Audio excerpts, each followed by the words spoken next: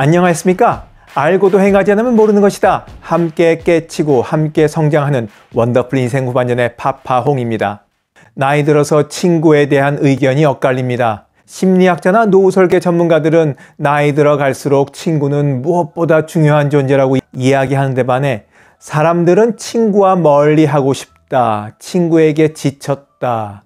친구가 마음에 상처를 준다. 친구라면 이가 갈린다 라는 심한 표현을 넘어서 아예 친구라는 존재조차 필요 없다고 하시는 분들이까지 계십니다.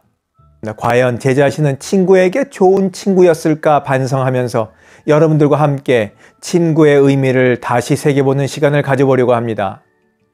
나이 들어 친구란 무엇일까요? 자, 본격적인 이야기 지금 시작합니다.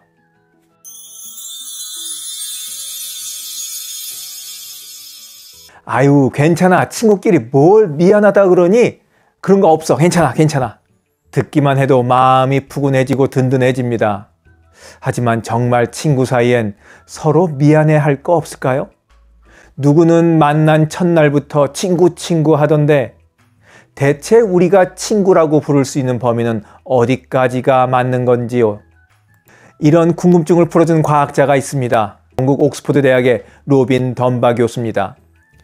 진화 인류학자인 던바 교수는 자신의 책 우리에게 얼마나 많은 친구가 필요할까를 통해 친구와 관련된 여러 숫자를 제시했습니다.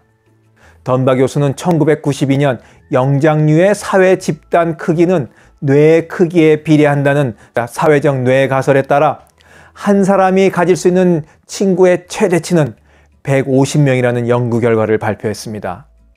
이 150은 이른바 던바의 수라고 불리게 됩니다. 그러면서 던바 교수는 한 사람이 유지하는 인간관계의 양과 질에 관련해서 3배수 법칙을 적용했습니다. 위기에 처했거나 힘들 때 도와줄 수 있는 진짜 친구는 5명, 친한 친구는 15명, 그냥 친구는 150명, 아는 사람은 500명, 이름을 들어보니 알 것도 같은 사람은 1500명이라는 것입니다. 이 법칙이 말하고자 하는 것은 친구가 많다고 자랑할 게 아니다. 자신이 어려울 때 곁을 지켜줄 수 있는 친구는 많아야 5명이라는 겁니다.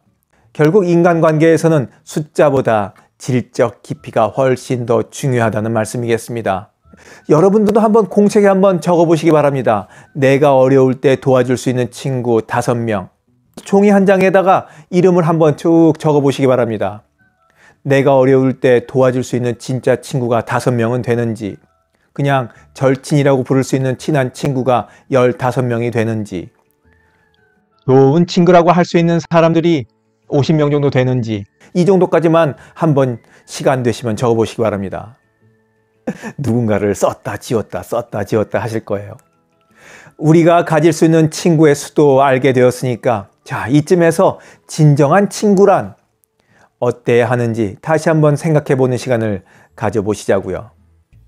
진짜 친구라면 이 정도는 해야 한다. 첫 번째, 자신의 이야기를 나눌 수 있어야 한다. 기껏 시간 내서 만나도 자기 얘기는 진솔하게 꺼내서 나누지 못하고 남 얘기하고 쓸데없는 주변부 얘기만 나누거나 아파트 값이 올랐네, 주식이 내렸네, 뭐 정치가 썩었네, 이런 얘기만 주고받다가 헤어지는 분들 많이 계시죠. 친구라고 만나서 밥 먹으면서 대화를 나누고 돌아서는데 정작 그 친구가 어떻게 지냈는지는 모릅니다. 친구 만나면 남 얘기하지 말고 자기 이야기를 나눌 수 있어야 합니다. 그게 친구죠. 진짜 친구라면 이 정도는 해야 한다. 두 번째, 만나면 편안해야 한다. 자기 얘기는 하지 않으면서 상대방을 이렇게 찔러보고 저렇게 찔러보면서 마음을 떠보는 사람이 있습니다.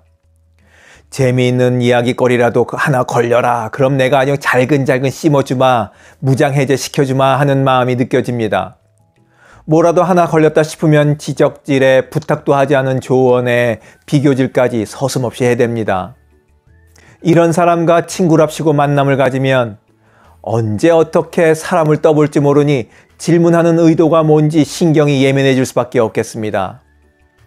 친구라면 만나서 마음 편해져야죠. 꽁꽁 얼었던 마음도 녹아내려 하는 것이 친구지 않습니까? 진짜 친구라면 이 정도는 해야 한다. 세 번째, 힘들 때 연락을 끊지 않는다. 들려오는 소문에 한 친구가 어려워졌다고 합니다. 아이고, 전화라도 걸어서 위안이라도 해주지 못할 망정. 돈 빌려달라고 하면 어쩌나, 무리한 부탁을 하면 어쩌나, 자신에게 해를 입히면 어떡하냐는 지레짐작으로 멀리하고 오는 연락도 받지 않는 경우가 있습니다. 모름지기 친구의 제일 덕목은 뭐니 뭐니 해도 함께 있어주는 것 아닐까 싶습니다.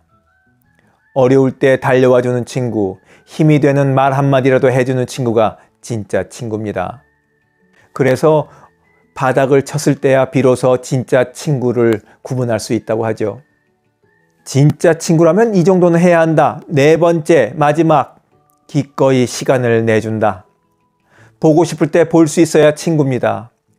이 점에서 저는 참 친구들한테 할 말이 없어요. 특별한 이유가 없어도 만날 수 있어야 친구인 거죠. 자기들은 고향에 내려올 때마다 연락을 하면서 어쩌다 자신이 서울에 갈 때 연락하면 늘 선약이 있다, 바쁘다, 집에 일이 있다는 등 귀찮아하는 듯이 대해서 결국 어렸을 적부터 이어온 친구 관계를 끊었다는 분이 계십니다. 비가 와서 눈이 내려서 갑자기 막걸리가 생각나서 사진 앨범 보다가 문득 보고 싶어 연락해서 만날 수 있어야 하는 것이 친구입니다. 친구분에게 연락이 오면 아이고 보고 싶어서 그러는 거구나 생각하시고 반갑고 고마운 마음으로 기꺼이 시간을 내주시기 바랍니다.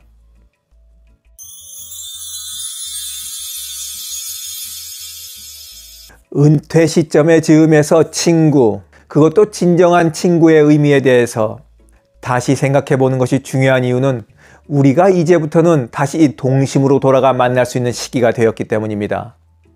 학창시절 친구가 좋았던 이유는 아무런 이익을 생각하지 않고 그냥 그 사람이 좋아서 자신과 잘 맞아서 만났기 때문이죠.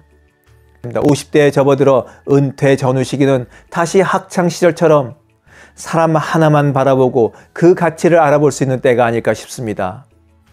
영상을 보신 모든 분들이 양이 아닌 두터운 깊이의 우정을 나눌 수 있는 질 좋은 친구 관계를 이어가길 바라면서 오늘 이야기 마치도록 하겠습니다. 원더풀 인생 후반전에 멋지게 나이 먹기는 계속됩니다. 감사합니다. 자랑질, 지적질, 아는 채, 있는 채 하는 사람들에게 지치셨죠? 상대방의 얘기 경청하고 익은 벼처럼 겸손한 사람들이 모인 곳이 있습니다. 바로 네이버 카페 실버들의 전성시대입니다. 너무 가깝지도 너무 멀지도 않은 친구가 필요하다면 네이버 카페 실버들의 전성시대로 오시면 됩니다. 아래 댓글란 맨 위에 초대글을 올려놓을 테니까 클릭하고 들어오시면 아주 간단하게 회원가입이 됩니다.